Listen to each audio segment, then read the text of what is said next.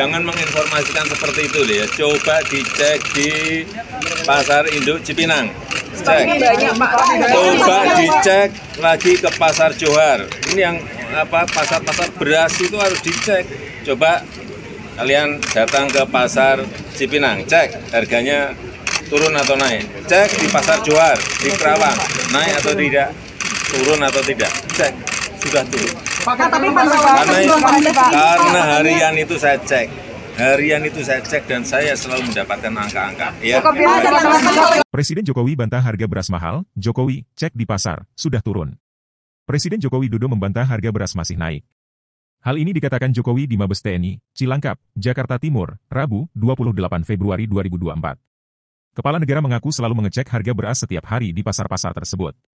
Dari hasil pengecekan, harga beras perlahan tidak lagi mengalami kenaikan.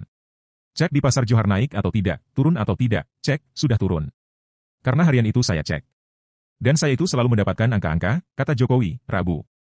Jokowi menyampaikan, harga beras bisa dicek di Pasar Induk Cipinang atau Pasar Johar yang merupakan pasar beras. Coba dicek, jangan menginformasikan seperti itu.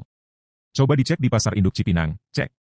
Coba dicek lagi ke Pasar Johar, ini yang pasar-pasar beras itu harus dicek. Dikutip dari Kompas.com, coba kalian datang ke Pasar Cipinang cek, harganya turun atau naik, ucap Jokowi. Sebelumnya diberitakan, masyarakat mengeluh harga beras mahal dan langka. Presiden Jokowi lalu melakukan inspeksi dengan mengunjungi Pasar Induk Cipinang pada Kamis, 15 Februari 2024. Saat itu ia memastikan, harga beras turun dalam dua minggu ke depan. Sebab, suplai beras sedikit demi sedikit kembali aman di pasar.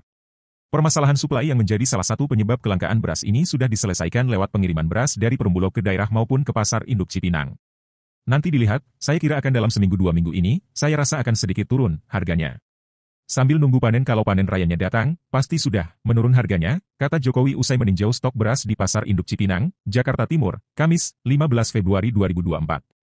Jokowi pun sempat mengungkapkan penyebab kelangkaan dan kenaikan harga beras. Selain masalah suplai, kelangkaan disebabkan macetnya distribusi dari beberapa sentra produksi ke pasaran. Salah satu masalah yang menghambat distribusi adalah bencana banjir di sejumlah kabupaten kota, termasuk di daerah Demak dan Grobogan, Jawa Tengah. Distribusinya juga terganggu di urusan banjir di Demak, di Grobogan, itu mempengaruhi, kata dia. Download Tribun X sekarang. Menghadirkan lokal menjadi Indonesia.